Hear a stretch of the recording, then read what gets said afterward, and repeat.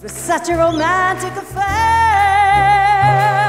And as we turned and said goodnight, a cockatiel sang through Berkeley Square.